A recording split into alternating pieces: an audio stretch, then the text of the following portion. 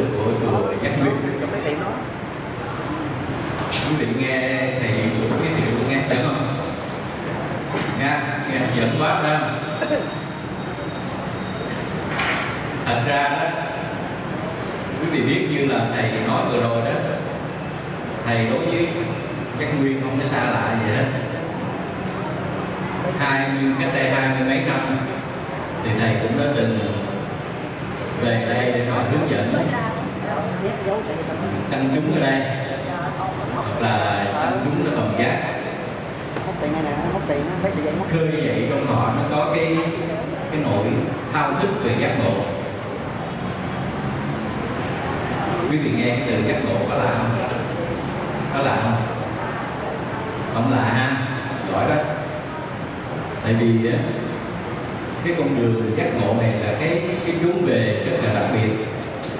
Mà nếu mà người tu mà chưa về đến cái chốn đó, đó nó giống như là mình có nhà mà mình chưa về vậy đó.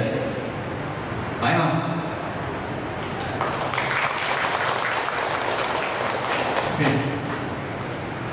Thì những cái năm mà thầy đi dạy giác nguyên là còn giác hoặc là bên kim liên rồi đó thì những mong là có có cái hoài bão, nó rất là lớn.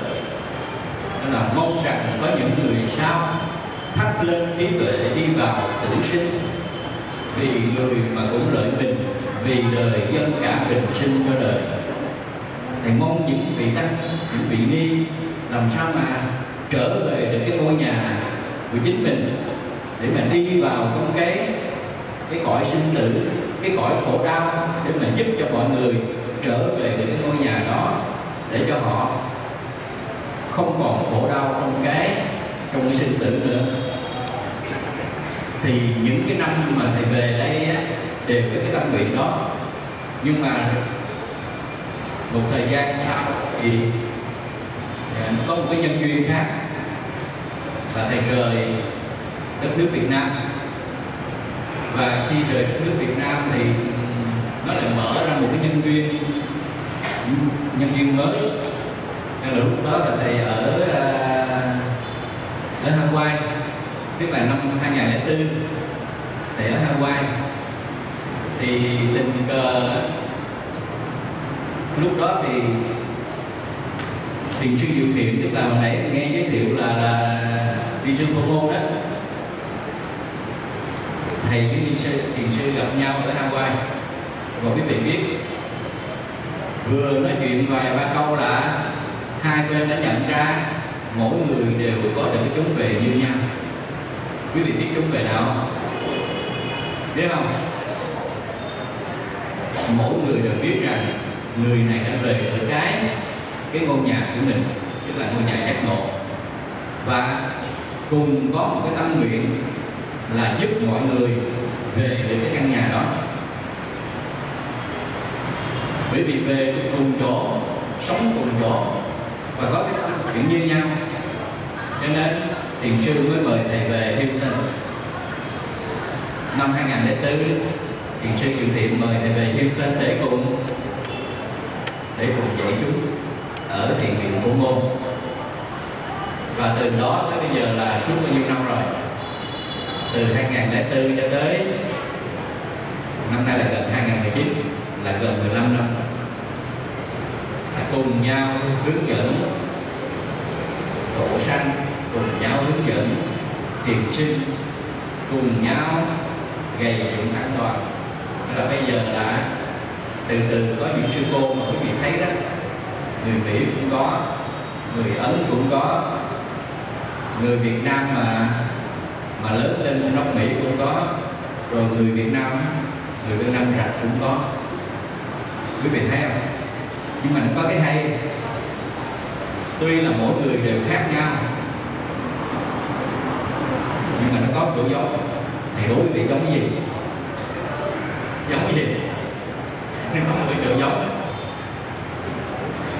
là mỗi người đều có gì? Đều có cái chỗ về. Đó, cho nên cùng có cái chỗ về, cho nên thầy là thiền sư bố môn mới giúp họ trở về được chứ. Phải không? Thành ra các ngọc gia các tiếng nói, nhiều khi khác tôn giáo, nhiều khi trẻ cũng có, già cũng có, nam cũng có, nữ cũng có. Nhưng mà mỗi người đều có cái chỗ về đó. Đó, chính cái điều đó cho nên thầy và thiền sư diệu thiện mới cùng nhau làm cái việc đó. Và đào tạo nên có một cái tăng đoàn như quý vị thấy. Và có người họ đã họ đã thấp thoáng họ nhận ra được cái ngôi nhà đó. Quý vị hiểu cái này không? Họ đã thấp thoáng họ nhận ra được cái ngôi nhà đó. Họ đã nếm được cái hương vị của của giác ngộ. Cho nên họ tình nguyện họ theo theo chúng tôi cho tới bây giờ. Và có những vị đã xuất gia tới 10 16 17 năm, có những vị xuất gia 10 năm, có những vị xuất gia 5 năm mà tất cả đều mong ước rằng chúng tôi đưa họ về cái quê hương quê hương giác ngộ tức là nơi mà ông tổ mình ngày xưa và Phật Thích Ca đã đã về. Thì đó là cái nhân duyên mà tôi và thiền sư Diệu Thiện gặp nhau hai vai và tiếp tục làm việc cho đến bây giờ. Thì trong cái chuyến về từ Mỹ về về Việt Nam, chúng tôi cũng mang một cái hoài bão là làm sao mà đem được cái tinh thần giác ngộ này giới thiệu và giúp cho mọi người nếm được cái hương vị đó.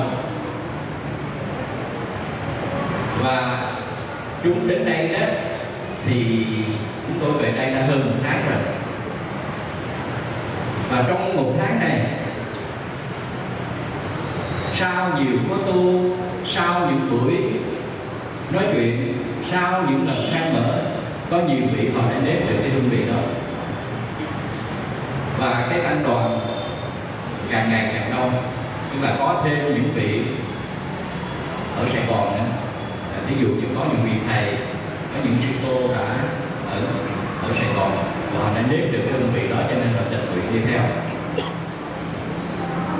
Và cái chỗ này, chỗ này là cái chỗ rất là đặc biệt. Cái chỗ về này là chỗ chỗ về rất là đặc biệt.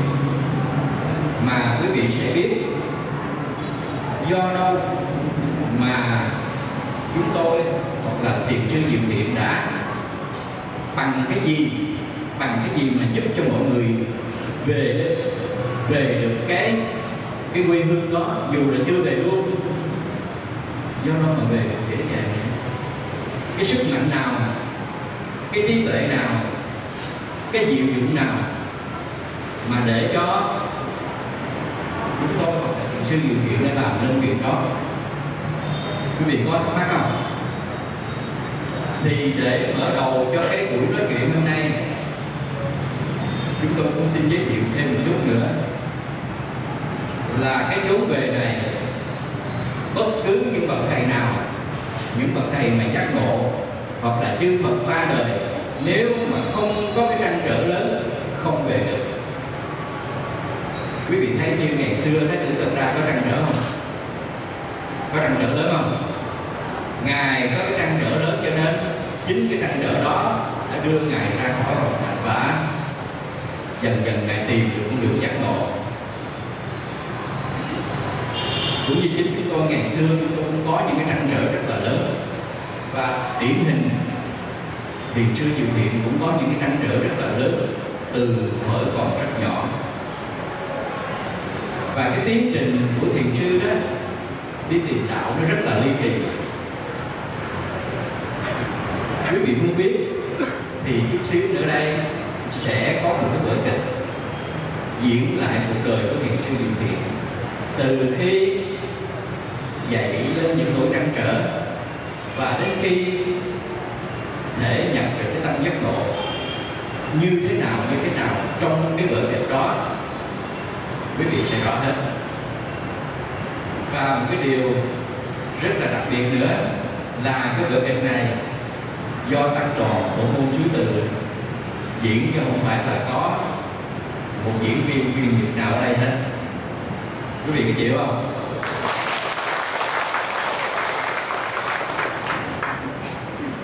Đi. Bây giờ đó để mở đầu cho cái buổi đây là cũng là mở đầu cho cái buổi chia sẻ. Nói chung là buổi pháp thoại đó Nha, mở đầu bằng cái vở kịch. Chuyến hành trình tìm về quê hương giác ngộ của chị Trương Duy Kiệt. Vở kịch Hành trình trở về quê hương giác ngộ xin được phép bắt đầu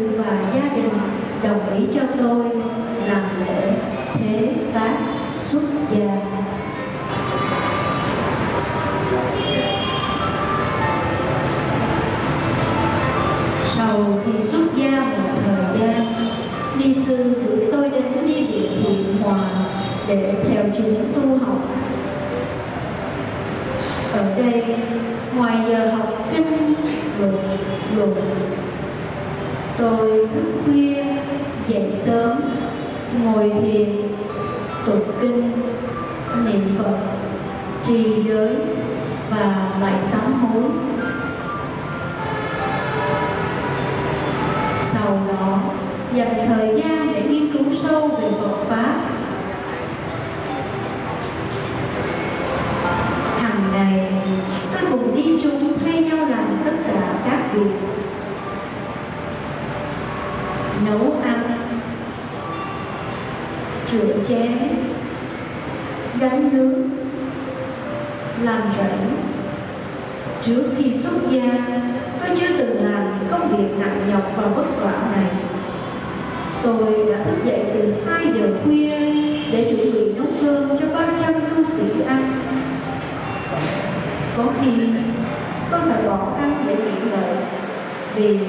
đúng.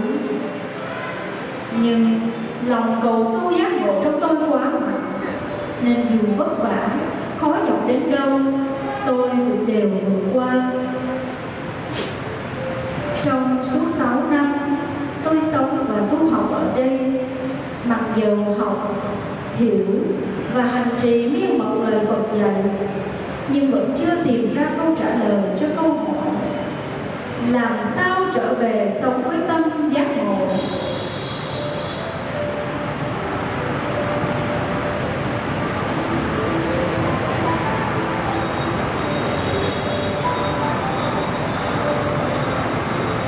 Mãi đến năm 1990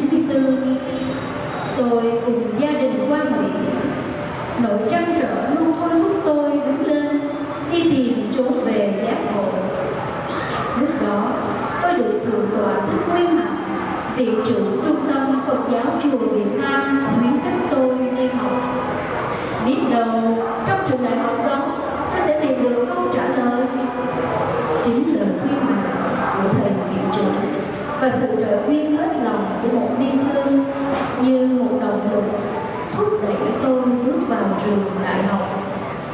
Cuối cùng, tôi đã cùng ni sư đến sống và giảng dạy trường cùng tiểu bang Michigan.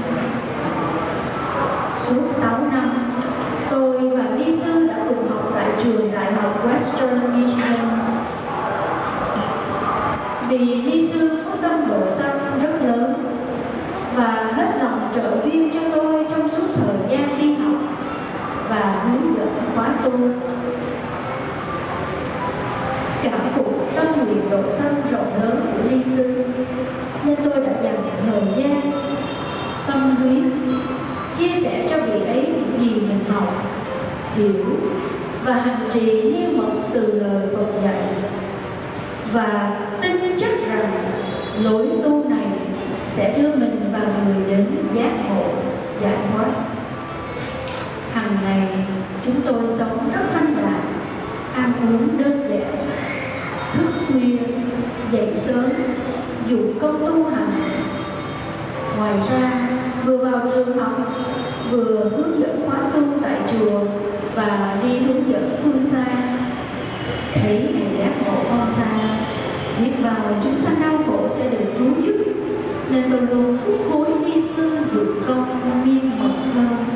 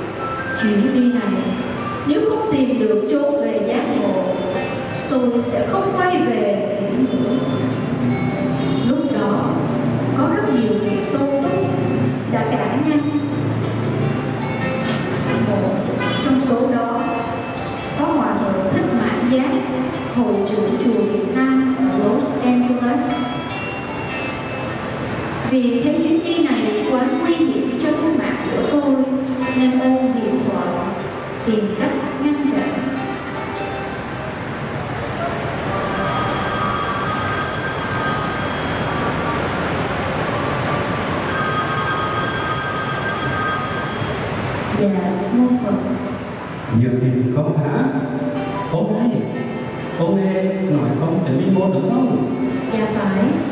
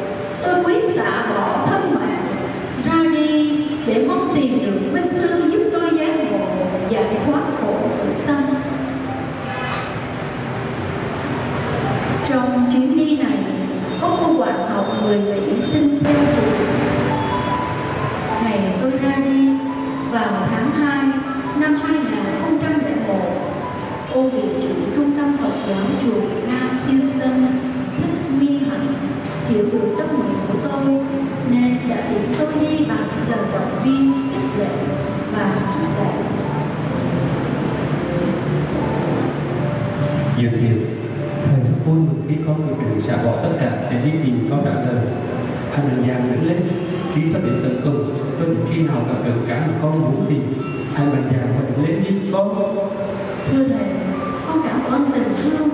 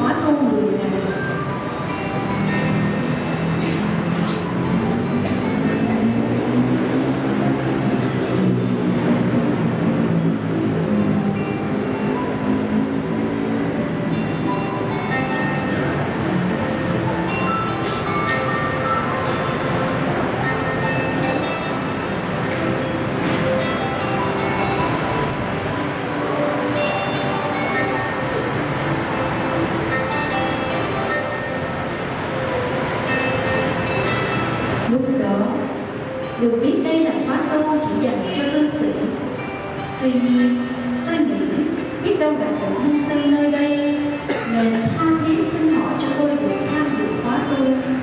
Tôi nói, họ hãy xem tôi như là tu sĩ. Vì tôi nghĩ tu sĩ mà không giác ngộ thì cũng khác gì tu sĩ đâu.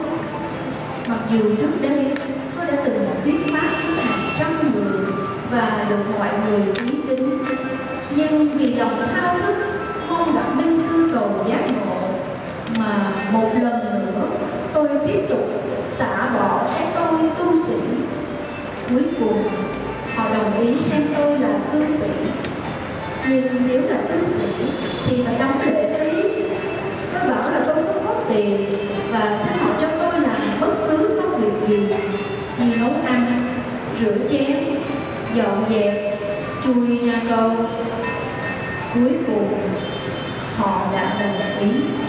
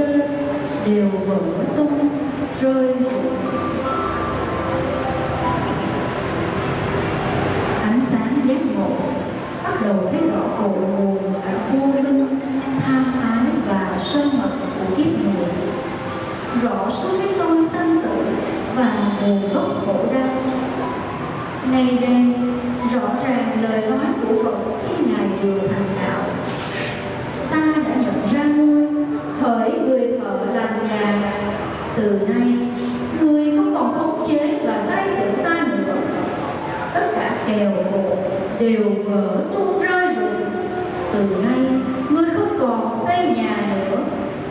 Ánh sáng giác ngộ cứ tiếp tục tỏ tường như thế. Cho đến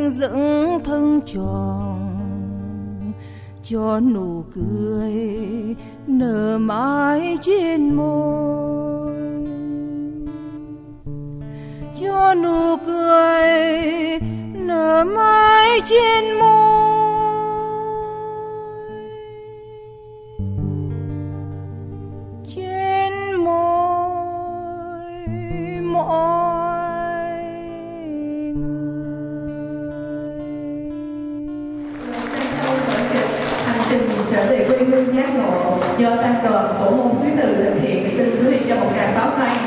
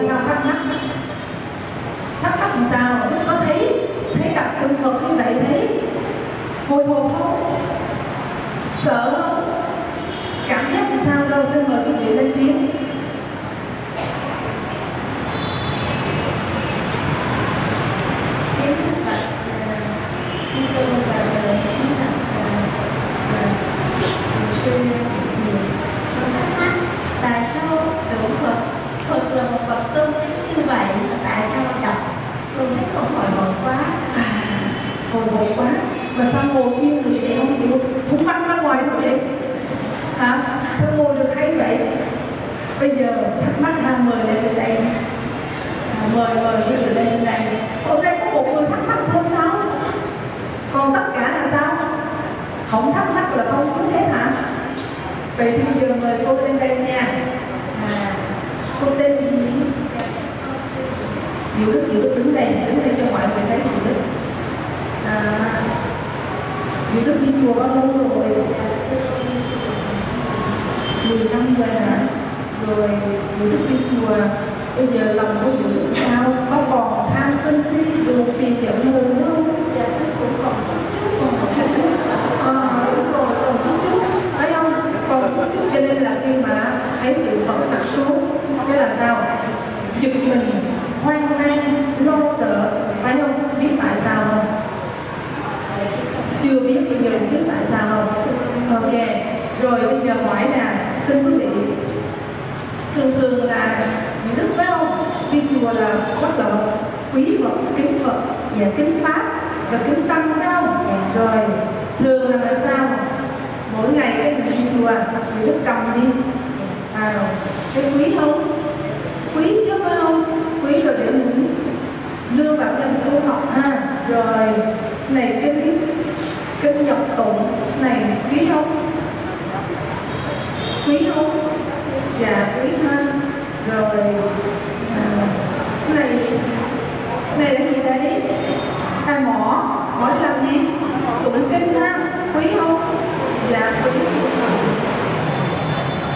Này là cái này là cái gì? Cái này là gì? Ồ oh, cái gì chưa tuyệt cái thỉnh mỏ ha. Rồi quý không? Dạ xin mời cầm.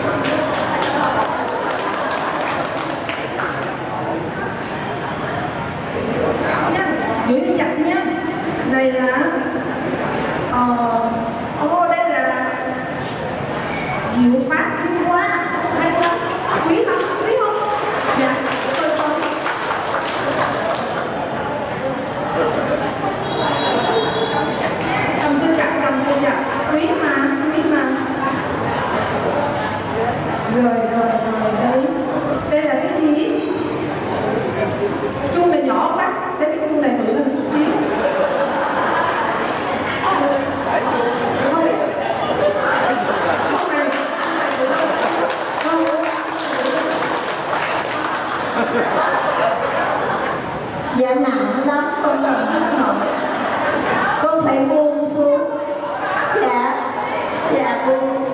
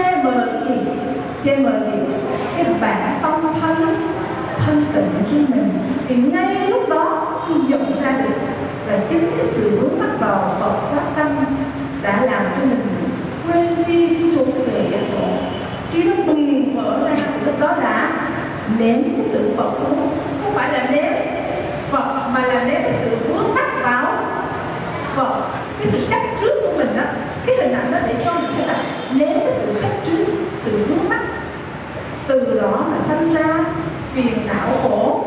Khổ đau có bị giận được không?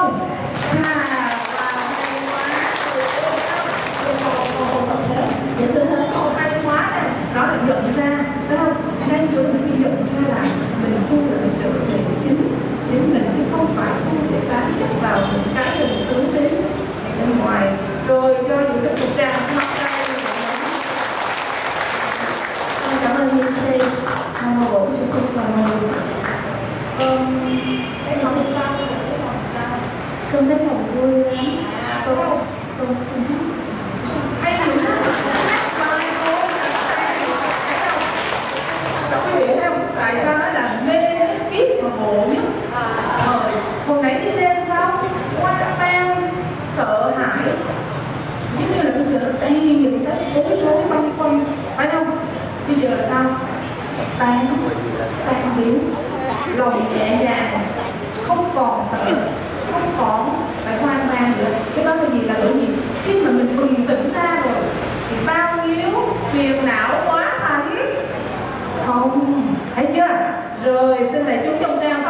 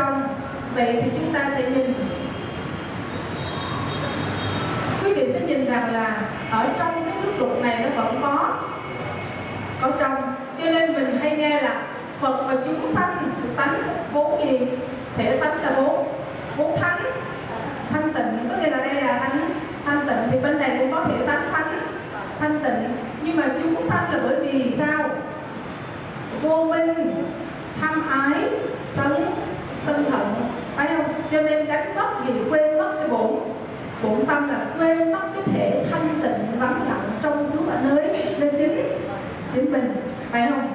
Thì bây giờ quý vị coi nè, thường thường cái hàng ngày, quý vị nhìn cái chậu nước này nó đang nó đang sao? Nó đang lắng, phải không? Nó đang cũng y tiên, phải không? Tự nhiên là sao? Có một cái cây đũa nó bố, sao? Nó quậy lên. Bây giờ sao nó sao nó đen đây đen thui à đây không nó đen thui đâu vậy thì bây giờ quý vị nghĩ là tại sao nó đen vậy? Nó đen như là nó đen gì? Là lúc đó mình đang bực mình nè, mình đang nóng nè, mình đang buồn, mình đang giận nè, mình đang tức nè, mình đang lắm, lầm bầm nè. Cái này là là gì? Đây là tâm buồn, phiền, giận, hờn nè. Đây là khổ khổ đau, phải không? Khổ đau trong đạo phật, đức phật nói là đây là khổ. Khổ gì? Khổ đế khổ đế, cái này là khổ khổ đế này, quý vị có thấy hàng này có cái này không? Có phải không? Có nó đục cỡ này không? Nó đen cỡ này không? Hơn hả? Cái này cũng chưa có đen lắm á. Phải không? À nó đen. Thì bây giờ quý vị nghĩ là tại sao nó đen vậy? Tại vì hồi nãy nè, hồi nãy nó đâu có đen đâu, mà sao giờ nó đen dữ vậy?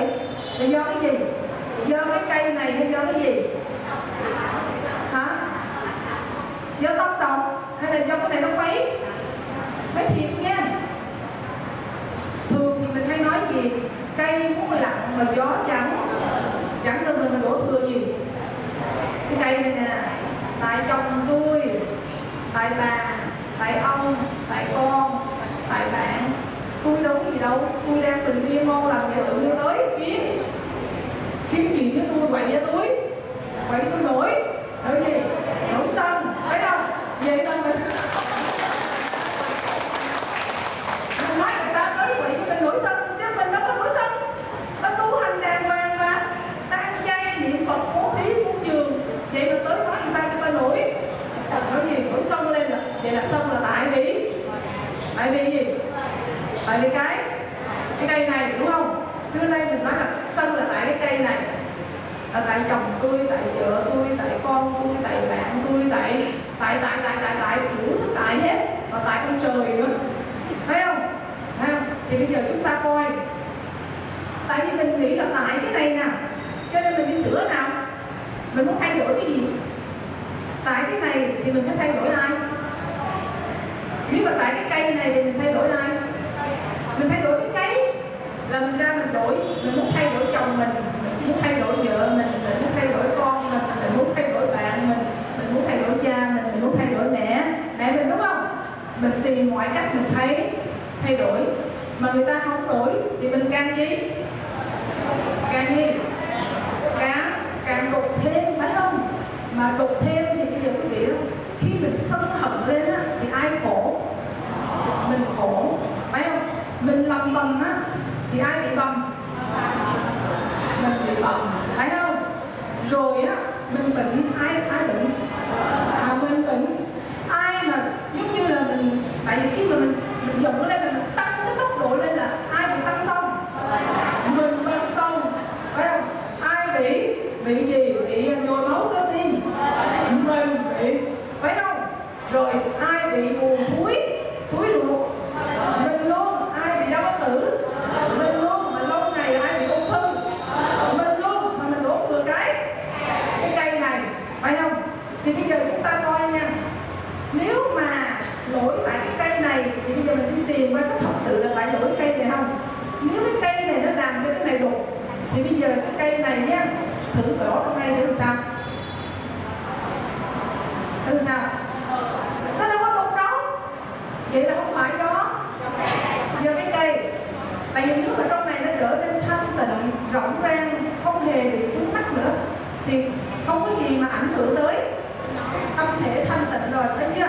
như vậy không phải lỗi cái cây mà là lỗi do trong tâm mình. Mình có có được đúng chưa? Vậy thì cái, hồi nãy đến khổ thì nguyên nhân của khổ là do ở đâu? Không phải ở bên ngoài. Mà nguyên nhân của khổ là do chính chính sự vướng mắc của của mình đúng chưa? Khổ nguyên nhân của khổ phải không? Bây giờ mình tìm đường dứt dứt khổ và con đường dứt khổ là tứ diệu đế phải không thì bây giờ chúng ta sẽ thấy chúng ta nhìn cái chậu nước này nè nó đục nó đen như vậy thì khi mà nó đen như vậy mà mình không nhận ra được thì đục như vậy mình nghĩ là mình có nước trong không? Có ai tin trong này là ta là phật sẽ thành không? Thành nổi không? À, như vậy mình dám tin mình thành phật không? Thấy đục ngầu rồi sao tính thấy không? Cho nên mình sẽ nói là mình phải tu ba a tăng trì trì kiếp. Nhưng mà là tại vì mình cái đục này nó gọi là vô vô gì? Vô minh cái thui nè. Không thấy được mình là là ai? Không biết thật của người thật của mình là ai? Chấp vào những cái. Thấy cây hiểu biết mình bỏ vào đây nè. Cho cái đó là mình. Cho nên gọi là tham. Tham ái.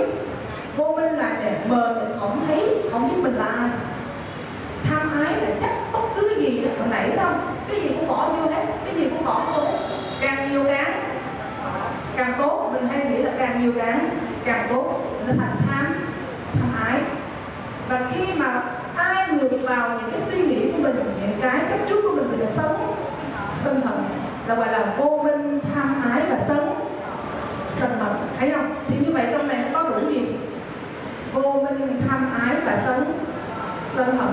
Cho nên cái này gọi là chúng chúng gì chúng sanh. Thấy không?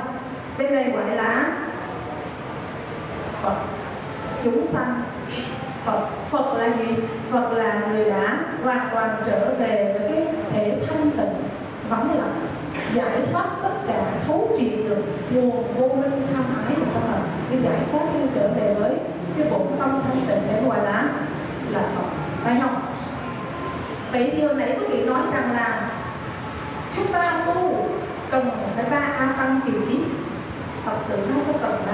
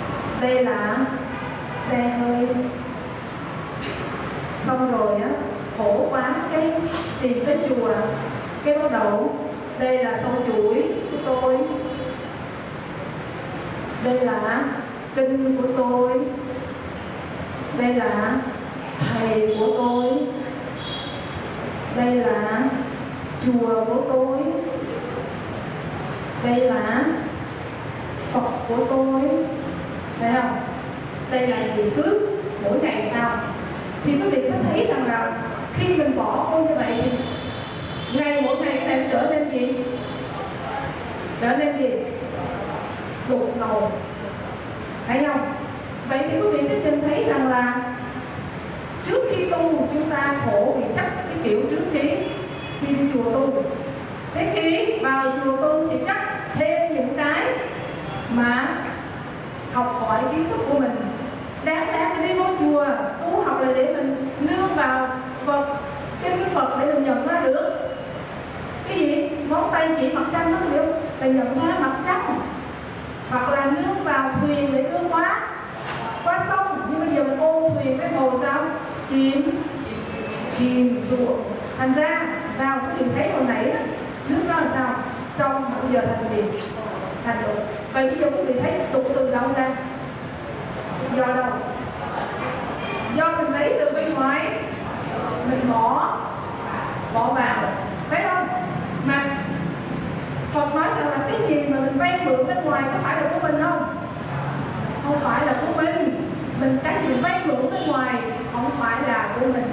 Cái mình là cái vốn sẵn thanh tịnh, tròn đầy và vắng lặng. Thấy không? Nhưng mà một hồi mình không nhận ra, mình càng vay mượn mình càng xa xa con người thật của của mình. Thì đây là nguyên nhân của của khổ. Là vì mình vô tình không nhận ra được mình là ai. Chấp vào những cái vay mượn bên ngoài cho là là mình từ đó thì khổ, đau chấp chấp chồng. Quý vị nhận ra chỗ này không? Như vậy là nguyên nhân của của khổ là hai. Hai đế chưa? Rồi bây giờ quý vị sẽ nhớ là thường ở đây quý vị có tụng kinh pháp hoa không? Có. Đức phật đầu kinh đức phật nói là ta vì đại sự nhân duyên có mặt trên đời này để làm gì? Khai thị chúng sanh, ngộ nhập phật trí. Trí kiến ở trong đây phật trí kiến là cái nào? Nào là phật trí kiến? Cái thể nước. Nước trong, thấy không? Thể nước trong là phật trí. Trí kiến. Đức phật có mặt trên đời này để khai thị chúng sanh ngộ nhập phật trí kiến là để cuối cùng trở về với thể nước nước trong. Đó là toàn bộ kinh pháp pháp hoa nhằm đưa chúng ta trở về cái thể thanh thanh tịnh. Vậy thì bây giờ chúng ta sẽ nhìn lại làm thế nào chúng ta trở về cái thể thanh tịnh. Bây giờ bước kế tiếp này là khổ đế này là tập tập đế, bây giờ tự hỏi lại chứ nha. Cái này là gì vậy? Cái này là gì? Micro. Thì không này micro à? À micro. Vậy thì nếu có người nói cái này không có phải là micro, mà cái này có phải là nói là cái này là cái chén thì sao? Thì người ta mình nói người ta sao? Không đúng không đúng. Đúng chưa? Mà khi mà người ta nói là cái này là cái chén thì trong lòng mình sao? Trong lòng mình sao? Bực bội đây, bực bội đây nó là sao lúc mà mình nói cái này là cái micro mà người ta nói cái chén thì vào trong này nó khó chịu nó bực bội là bắt đầu được hơn là phiền não nó trỗi trỗi dậy trong tâm. Thì ngay khi phiền não lúc đó chúng ta cái đầu chúng ta nói gì? Cái đầu chúng ta nói gì? Người đó là sai. Mình là sao? Mình đúng. Mà mình đúng thì mình phải cho người đó biết là người đó là người đó phải nói cái này là cái micro phải chưa nhưng mà người đó cũng nói rằng là không cái này là cái chén thì mình sao? Thì mình sẽ cái này, mình sẽ bực bối thì lúc này trong này sao? À, phiền não sẽ sẽ lên nữa. Và lúc đó mình nghĩ người đó là sao? Nếu mà người đó vẫn tiếp tục nói cái đó là cái chén thì trong đầu mình nghĩ người đó là sao? Ngu. Phải không? Cái người này sao mà ngu như vậy? Hay là bị chắc té? Té phải không? À mình nói người ta ngu hoặc là té. Té tiếng đó, mà rồi mình sẽ tìm mọi cách để mình nói cho họ mà nếu không thì nó không nó ngu quá, mình không không thèm thèm nói chuyện với nó. Phải chưa? Vậy thì bây giờ chúng ta kết luận coi là ai ngu? Người ta ngu hay mình? Mình ngu. Phải chưa? Và bây giờ đầu mình coi nè thường xưa nay mình nói nè? Du ngu túi tôi cô du dở túi tôi giỏi phải không? Thế gian này ai cũng đục có mình ta. Ta trong mà ta trong sao kỳ vậy? Ta trong sao kỳ vậy? Ta này ta cũng đục đục ngọc à nhưng mà lúc nào mình cũng tưởng là mình mình trong thành ra đến ta đây không còn muốn chơi với ai nữa.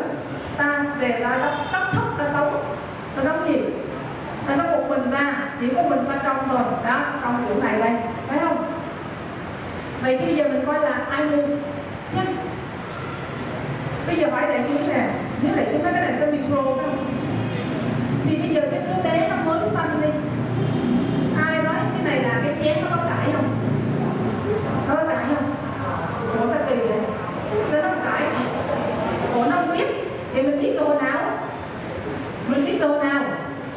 Nếu cái này thật sự nó là cái micro thì ai cũng phải gọi nó micro cho dù nó mới chào đời nó cũng gọi là micro nhưng như là khi mình gọi micro là mình được gì? Bắt đầu người ta cho mình biết cái này là là gì? Cái micro. Đúng chưa? Vậy là mình mượn bên ngoài mình bỏ bỏ vào và mình tin cái đó là cái micro. Như vậy bắt đầu mình chắc chưa? Mình chắc vào cái đó là cái micro. Sau mình ôm chặt nó, mình tin cái đó là micro. Và mình đấu tranh cho cái cái này gọi là micro và mình chấp nhận chết cho cái micro để thấy mình sao? Thấy mình sao? Ra chưa? Ai điên? Thấy ai điên? À mình mình điên. Là tại vì mình chấp vào cái đó cho là cái micro. Nhưng bây giờ quý vị nhìn kỹ nè. Thực chất cái này có phải cái micro không? Cái này do cái gì hợp thành? À, do nhiều thứ tạo tạo thành, phải không? Sắt hoặc là đất nước gió lửa, tất cả mọi thứ nó tụ lại thành trước khi có cái micro này, nó đâu có phải là cái micro. Vậy cái này không phải là là micro. Vậy mà mình chấp cho cái là micro. Vậy ai? Ai vô mình? Mình ai chấp và ai phiền não à khi thấu được chỗ đó thì ngay đó là sao tâm trở nên thinh thang, thánh, thanh tịnh. Và ngay khi đó thì chúng ta đã giải thoát được cái vô minh tham ái và sân sân hận để tâm trở nên thinh thang, thanh tịnh. Nếu mà chúng ta nhận được cái chỗ này, chúng ta tu học ngay chỗ này, thì trong đời này chúng ta sẽ sao? À chúng ta sẽ trở về với cái bộ tâm thanh tịnh của mình và giải thoát vô minh tham ái và sân hận quý vị có đồng ý chỗ này không dạ kính thưa quý vị như vậy là sao hành trình tìm về tâm giác ngộ. Hôm nay quý vị đã bắt đầu từng bước bước từ mê quán qua chỉ có hai việc thôi là Đức Phật có mặt trên cuộc đời này nhằm khai thị chúng sanh, ngộ nhập Phật trí, tri kiến. Và con đường đi đến giác ngộ giải thoát là tứ diệu diệu đế khổ nguyên nhân của khổ và giác ngộ con đường giác ngộ là thấu suốt cội nguồn của vô minh tham ái và sân sân hận mới trở về cái bổn tâm thanh tịnh bổn sạch thì chính là mình được không nếu quý vị mà nhận được như vậy thì hỏi quý vị nè, vậy thì xưa nay quý vị đi chùa quý vị lễ phật hay quý vị lễ tượng phật? Hồi xưa nay xưa nay quý vị đi chùa là quý vị lễ phật phật hay lễ tượng phật trả lời nhưng mà mình nếu mà hôm nay mình nhận ra nè thì mình nhìn lại là xưa đây mình lễ phật hay mình lễ tượng phật à con tràng tháo tay thấy chưa xưa đây mình chưa bao giờ lễ phật nếu mình lễ phật là mình phải lễ cái này ra lễ cái bổn tánh thánh thanh tịnh lễ cái đức phật là gì là vì giác ngộ đã đầy đủ từ bi trí tuệ vẹn toàn và có khả năng khai phá tấm con người để đưa mọi người trở về bổn tâm thanh tịnh. Nhưng mà xưa nay mình có lễ phật mà mình lễ tượng tượng phật phải không? Rồi lâu ngày mình nghĩ phật giống như một ông thần. Thế là cúng một nải chuối là mình làm một cái gì? Một cái sớ thiệt lá. Là dài xin phật cho chồng con à, buôn may bán đắt vợ con là hết bệnh con con đậu đại học nhà con là à, qua nạn khỏi làm có list lá là dài rồi xong rồi để lên mẫu. Như vậy là chúng ta đâu có nhìn thấy Phật là Phật giác ngộ đâu mà chúng ta nghĩ Phật như một người đã cho mình cái gì đó phải không? Nhưng bây giờ quý vị nhìn nè Ngài đã bỏ hết tất cả cái điều đó để đi tìm gì? Tìm giác ngộ. Không lẽ Ngài lấy ra cho mình sao? Cung vàng điện ngọc vợ đẹp con thơ Ngài dùng hết để đi tìm. Đi tìm gì? Tìm về để mình bổn tâm thanh tịnh. Mình tới mình cầu ngài cho mình mấy cái đó được không? Không phải. Cho nên xưa nay là mình mình hiểu phật có rốt ráo có chân chính không? Chưa. Thì bắt đầu từ hôm nay sao? Cố gắng ha. Bây giờ hả? Rồi, thưa thầy thưa Thầy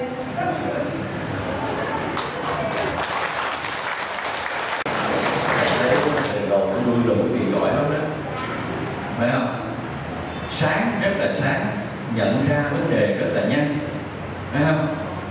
Nhưng mà quý vị nhớ nha, quý vị nhớ là mỗi người phải đi cái con đường về cái đúng về giác ngộ của chính mình. Mỗi người phải đi trong ai đi dùng ai đi dùng mình không mỗi người phải phải lên đường bằng cái cuộc hành trình đó. Nhưng mà đi từ đâu về đâu? Từ đâu về đâu? Đấy, phải không? Từ đây về đâu? Về. Về đây. Phải không? nhưng mà thầy đố quý vị á từ đây về đây nó nhanh nó chậm. Hả? Từ đây từ đây về đây nó nhanh nó chậm. Nhanh phải không?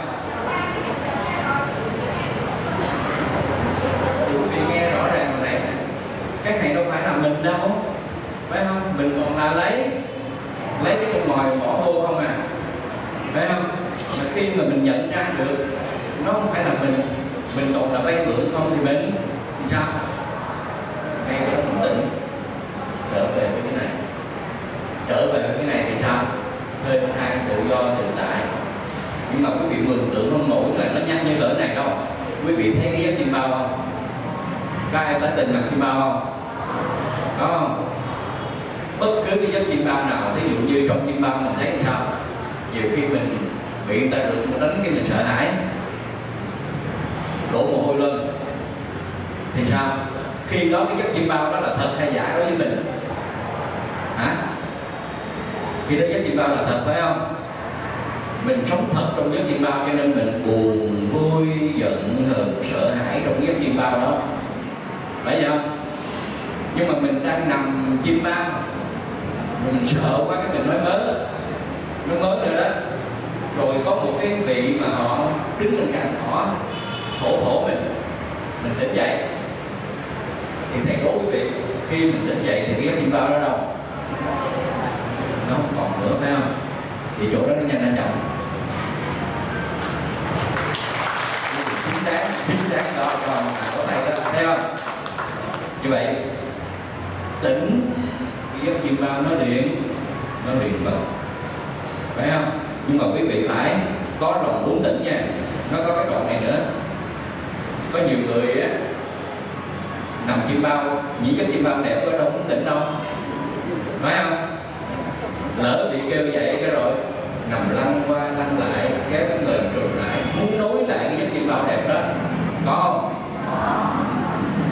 Nó lâu ở chỗ đó nè. nó đô là do đó chứ nếu mà quý vị mà có lòng muốn tỉnh.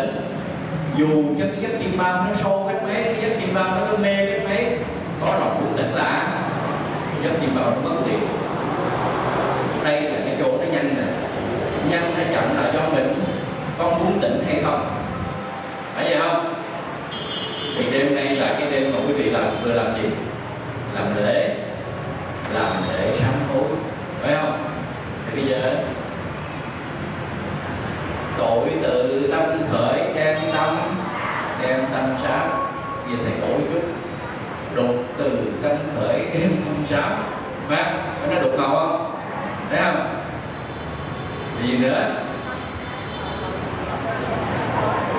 Tâm nếu sạch rồi tội liền tội liền tiêu.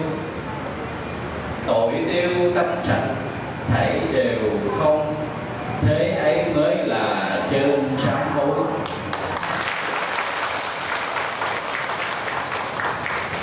Phải không? Thế nếu mà quý vị mình không chịu về đây dù cho quý vị có sắp lại sói tráng đi nữa, tội nó không tiêu nổi đâu. Phải không? Cho nên phải về tới cái chỗ đó thì thì tội nó mới tiêu vậy tối nay quý vị biết chưa sám hối chưa? Quý vị rất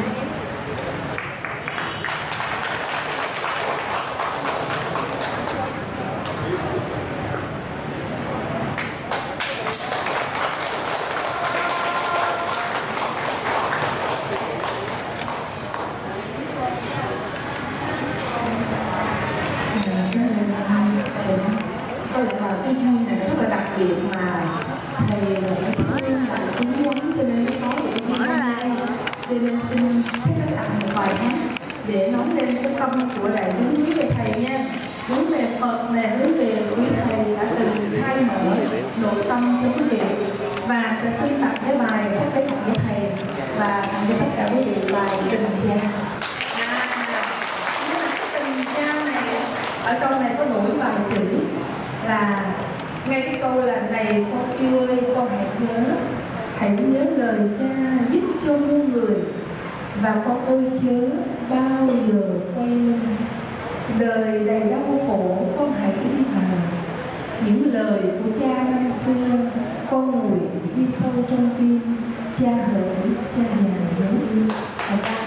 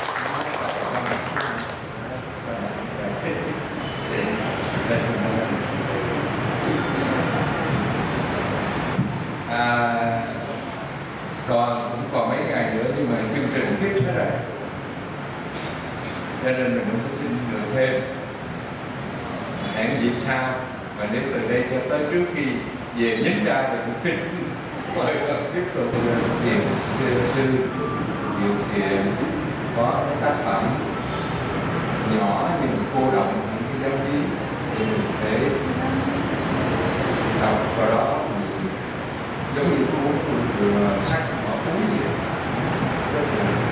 Thì à, đây là tặng phẩm tinh thần. Sau cái giờ này quý vị có thể đến để nhận. Bởi vì mình nghe là mình dễ quên ha có loại nó là nó đâu không nhắc lại riêng chư tăng đi tại tổ đình nhân viên và tôi gặp bác thì thiền sư có ý cùng bạn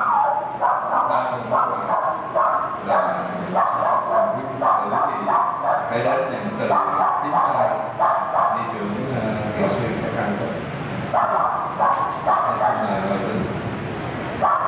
chúng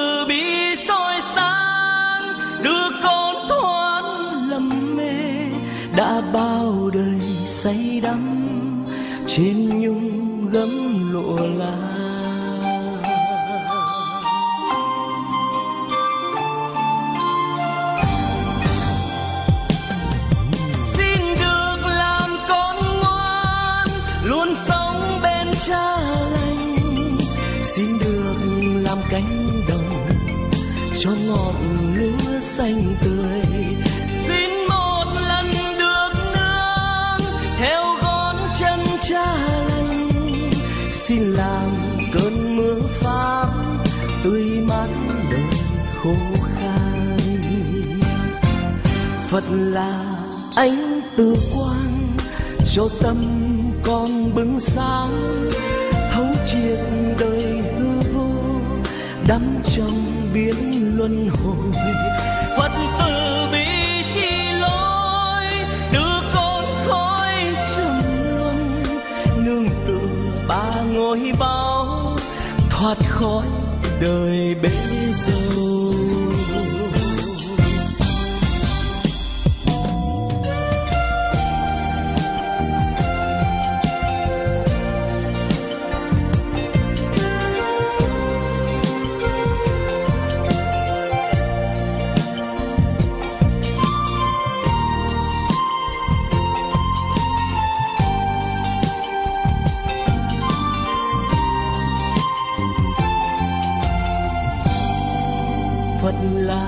ánh từ quan, soi lối con trở về. Nguồn pháp từ mênh mông, đưa con về bờ giác Phật từ bi soi sáng, đưa con thoát lầm mê. Đã bao đời say đắm trên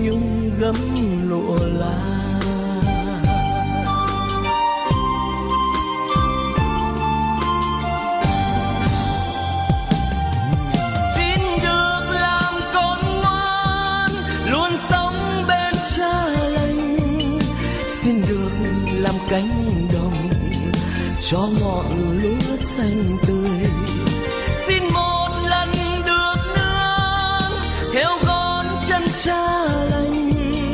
Xin làm cơn mưa pháp, tươi mát đời khô khan. Phật là ánh từ quang, cho tâm con bừng sáng. Thấu triệt đời hư vô đắm trong luân hồi. Vẫn từ bi chi lối đưa con khói trầm luân. Nương tựa ba ngôi báu, thoát khỏi đời bể dầu. Vẫn từ bi chi lối đưa con khói trầm luân. Nương tựa ba ngôi báu, thoát khỏi đời